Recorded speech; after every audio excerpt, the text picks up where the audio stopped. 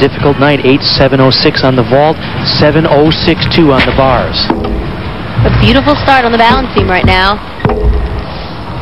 Good acro combination. She won the balance beam event at the 2001 Australian Junior Championships. That'll be a questionable combination there because of the pause between the jump into that salto.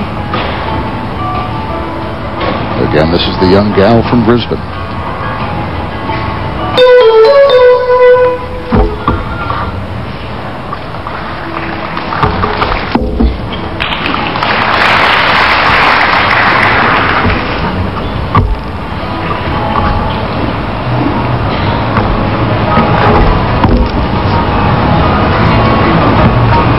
A little problems on that jump sequence.